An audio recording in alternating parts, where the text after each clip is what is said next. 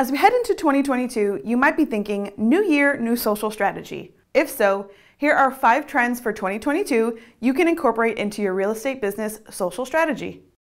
A push toward more video.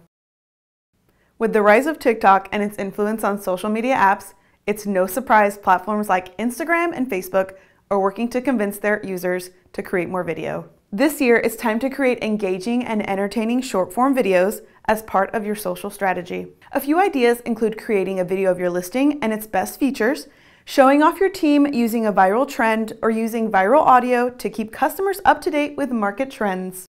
The rise of live.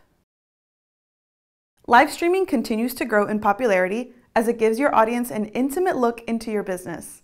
And with new features constantly being developed for live streaming, you can bring more value to your customers. One of the ways you can use live streaming for your real estate brand is by conducting interviews with other professionals or doing a Q&A on live. You can also go live at events such as open houses or charity events.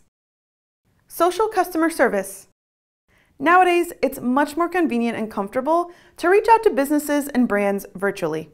And thanks to the pandemic, the need for everything to be virtual and updated at any moment has increased. In a Nielsen survey commissioned by Facebook, 64% of people said they would prefer to message rather than call a business.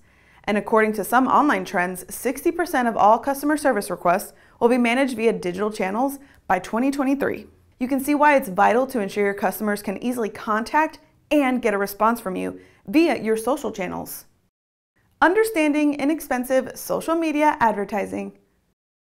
Not every business has the budget to include paid or sponsored posts into its strategy, but it's beneficial to understand how it works and what's best for your business. If your goal this year is to reach new customers, you won't achieve that by solely relying on a simple post or going viral. In fact, the average organic reach of a Facebook or Instagram post is 5%. That means a very small percentage of your followers will see your content without putting a budget behind it. This year, learn how to boost your top performing post to engage with new customers. Visit our blog to see Hootsuite's Venn diagram on the benefits of paid social posts versus organic social posts. Further use of augmented reality. About 90% of real estate agencies have started using AR technology to provide better services to their clients. As the technology continues to develop, so will the ways you can use it in your strategy. For example, property staging or showing full-scale models of unbuilt properties. For more information on social trends for 2022, visit our blog.